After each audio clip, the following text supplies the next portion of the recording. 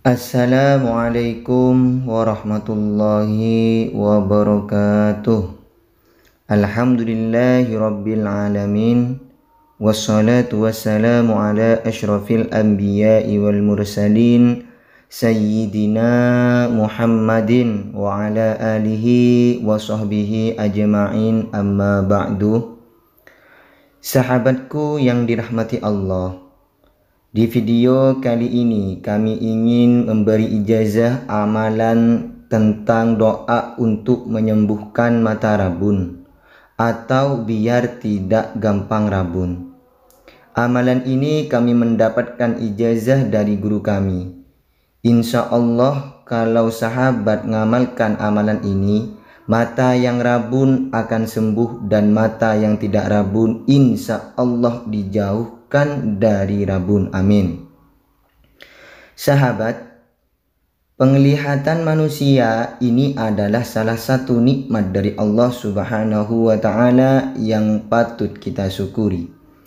Di zaman sekarang ini banyak sahabat-sahabat yang masih muda, masih umur kecil sudah terkena penyakit mata rabun. Disebabkan karena HP, komputer, atau baca novel sambil tidur telentang, dan lain-lain. Semua itu adalah sifat adat. Biasanya, kalau main HP sambil tidur telentang, mata bisa rabun. Akan tetapi, semua penyakit dan kesehatan itu dari Allah Subhanahu wa Ta'ala. Maka, kami di sini, sahabat, ingin memberikan amalan doa untuk mata rabun. Memohon kepada Allah untuk diselamatkan dari penyakit mata rabun atau memohon untuk disembuhkan dari mata rabun. Sahabat, cara mengamalkan amalan ini sahabat cukup lima kali saja setiap hari pas saat waktu adzan.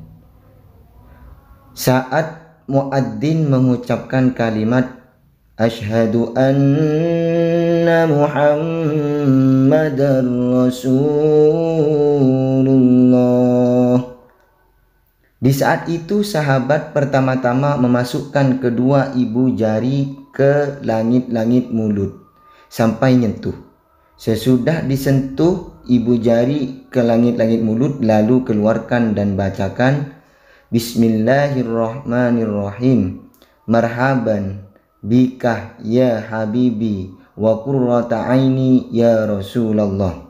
Saya ulangi, marhaban bika ya habibi wa qurrata aini ya Rasulullah. Saya ulangi lagi tiga kali sunat. Marhaban bika ya habibi wa qurrata aini ya Rasulullah dibaca tujuh kali. Setelah itu usapkan kedua ibu jari ke kelopak mata. Ibu jari kanan mengusap kelopak mata bagian kiri dan ibu jari yang kiri mengusap kelopak mata bagian kanan.